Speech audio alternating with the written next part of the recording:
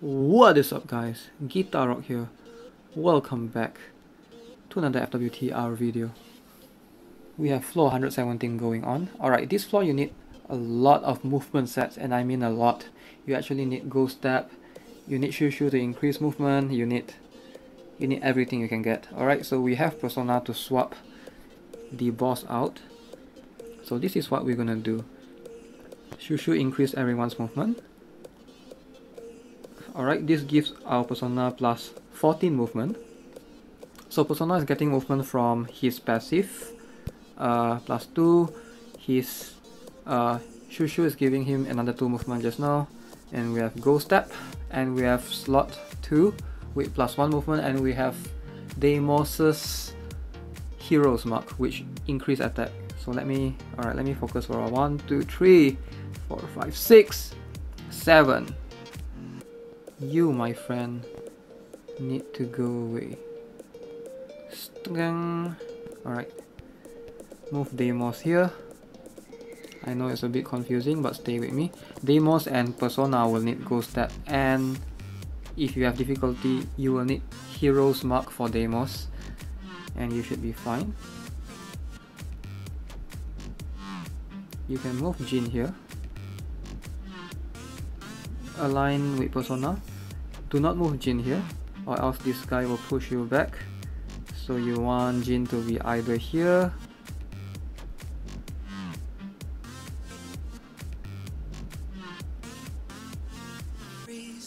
yeah here is fine. So you want Jin to be here. Here. Use first skill so that Jin will get uh, plus 2 movement from that first skill so Nox if we place our Nox here we are going to get pushed back so instead we have to place Nox right here easy man alright you guys don't know I've been struggling in this stage for the last 26 hours. It's frustrating. It can it can turn you man. I'm becoming crazy. This Tower of Dawn stress man. It's real, it's a real thing. And the animation takes so long for this stage. Uh, you feel like killing yourself every time you watch all of this. Like trying to complete this stage actually takes 40 minutes 30 to 40 minutes maybe I'm over exaggerating I'm not sure but around there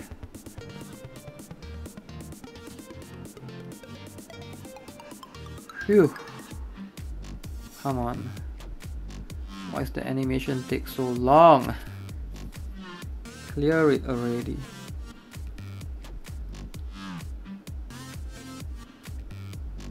Right, so far so good. Next, you want to use Shu Shu and increase Jin's movement again. And this way, uh, see. And then move Persona here and swap this guy out. So basically you want the 1, 2, 3, 4, 5, the 6th and the 7th row to be empty. Alright, you see this is the this is the sixth this is the seventh row. Alright. Stop it Deimos. I'm just showing. Don't move. Alright don't need to move your Deimos. So 6 and 7 row make sure it's empty. And let's try to follow what I'm doing. Move Jin here.